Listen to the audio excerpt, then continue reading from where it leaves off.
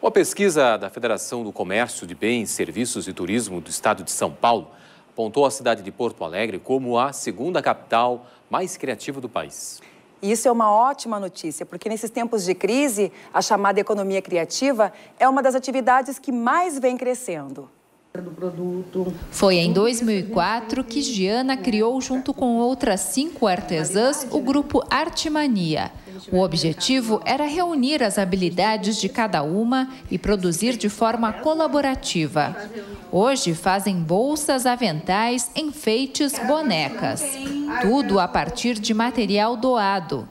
Mas um elemento é essencial para a confecção desses produtos. A gente tem que usar totalmente a criatividade, tanto para começar a fazer, para comercializar, para todos juntos estarmos né, em sintonia para começar a pensar, a bolar, a ver a aptidão de cada um, como é que vai ser feito aquele produto. Então, tudo existe dentro da, da, do nosso grupo, do nosso produto, uma criatividade. O trabalho do Grupo Arte Mania é um exemplo de iniciativa da chamada economia criativa. O conceito engloba atividades que envolvem criação e inovação. Trata-se de uma alternativa de emprego e renda. E para esta economista é uma oportunidade de crescimento diante da crise econômica assunto que debateu na primeira edição do projeto São Judas em Pauta. São atividades que têm um crescimento muito grande no mundo todo, a, a economia criativa especificamente, ela cresce a taxas maiores do que o PIB mundial. No Brasil, esse, essa taxa, apesar de maior do que o crescimento do PIB, ainda é menor do que o resto do mundo, o que significa que ainda há muita oportunidade aqui.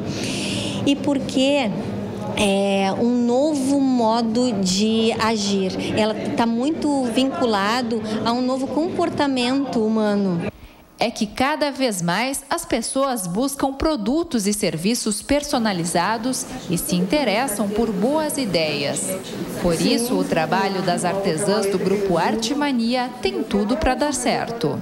Ter uma atividade criativa e mais do que isso, por ter um grau de customização, por ter a questão das mãos, da, da, humano colocado ali. E Jana concorda que, mesmo em tempos de crise, as perspectivas são animadoras. Não senti nada diferente nesse ano de crise no fato de perder a, o, as vendas ou a produtividade.